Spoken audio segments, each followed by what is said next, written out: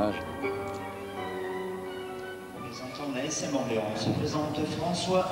Estelle Corriveau, 8,95 au bar asymétrique. Elle prend la tête de ce concours. Alors, suivez bien ce garçon aux arçons. Euh, vous le disiez tout à l'heure, Michel, il fut excellent à Gand euh, lors des euh, championnats du monde à l'automne dernier. Voyons ici, il va confirmer ici. Et s'il peut aller chercher justement quasi. Un mouvement extrêmement compliqué, longue combinaison sur un arçon. Le passage en ciseaux, c'est obligatoire. Le demi-tour, bien en rythme, sans interruption. Transport vers l'avant.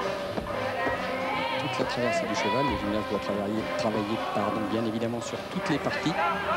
Voilà, pour l'instant, c'est parfait dans l'exécution. Ah, ici, interruption du rythme avant la sortie. Il n'a pas pu s'élever jusqu'à l'équilibre. Quel dommage pour François.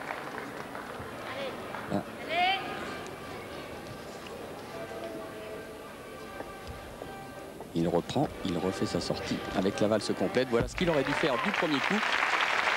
Malheureusement, un peu de fatigue en fin de mouvement, peut-être un mauvais placement du dos au-dessus de l'appui et il suffit de très très peu de choses pour manquer la finale. Ce qui veut donc dire, Michel, que l'on peut quasiment annoncer la victoire d'Eric Casimir.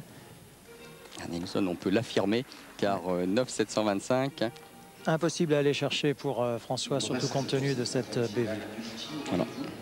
Il aurait fallu qu'il soit parfait pour concurrencer Eric aujourd'hui. Voilà le petit coucou de François.